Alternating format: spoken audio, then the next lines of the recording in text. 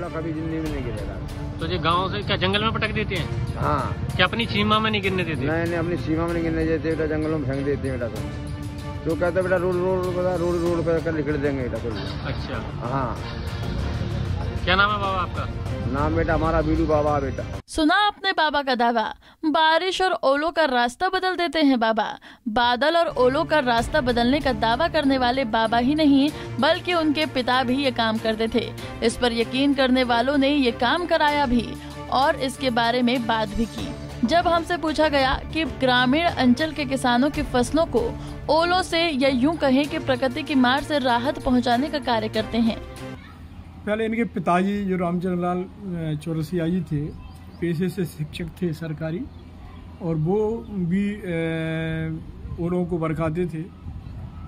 और उस, समय शायद पूरे क्षेत्र में कहीं ओले नहीं पड़ने देते थे वो। उसके बाद वो जो भी श्रद्धा से अनाज वगैरह जो किसान थे वो उनको दे जाते थे या वो स्वयं ले आते थे।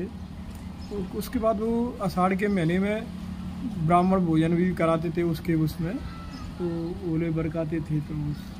कैसे हटाते थे? कभी कुछ आपने देखा है ऐसा कुछ?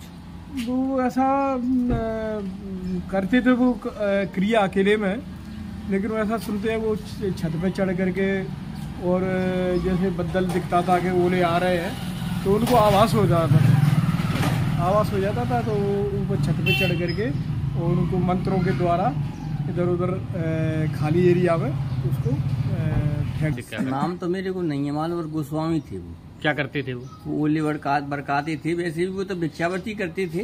वैसे साई साईं गुसाई तो मांगते खाते शंकर जी की पुजारी होते हैं वो। तो उन उन्हीं को भरोसा था और वो एक बार अपने तीर्थ गए सब लोगों के साथ गाँव के जत्था के साथ। और वहाँ पे उनको मालूम आवास हुआ कि हमारे गाँव में ओले पड़ रहे हैं।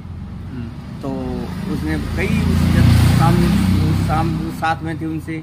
ने कि वहाँ पे ओले पड़ रहे हैं और तुम कहो तो मैं कैसे करो व्यवस्था?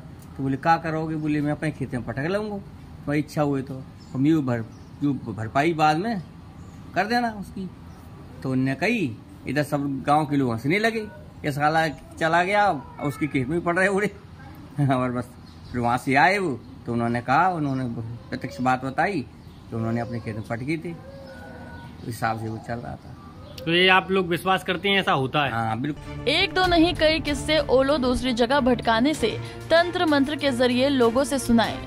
खेत की फ़सल कटने के बाद ये लोग उन गाँव में पहुँचते हैं जहाँ उन्होंने ओले न गिरने देने की ज़िम्मेदारी अपने कंधों पर उठाई हो। बाबा से सुनिए आखिर कैसे होता है ये सब।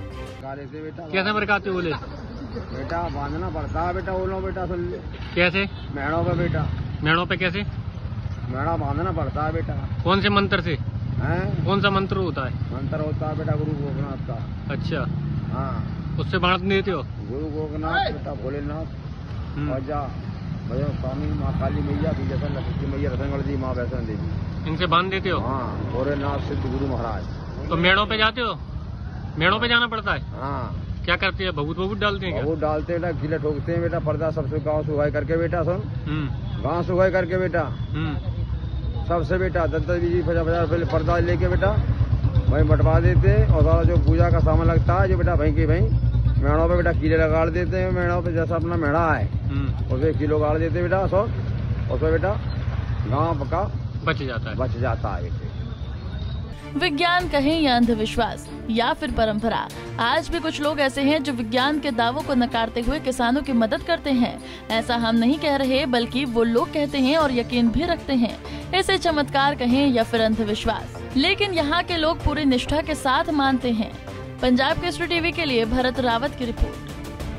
से जुड़े रहने के लिए हमारे YouTube चैनल को सब्सक्राइब करें और नई वीडियो की नोटिफिकेशन के लिए बेल आइकॉन को दबाएँ। अगर आप ये वीडियो Facebook पर देख रहे हैं तो लाइक ज़रूर करें और ज़्यादा से ज़्यादा शेयर करें धन्यवाद